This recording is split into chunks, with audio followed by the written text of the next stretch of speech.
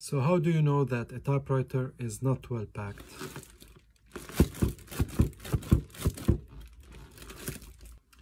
And I was right.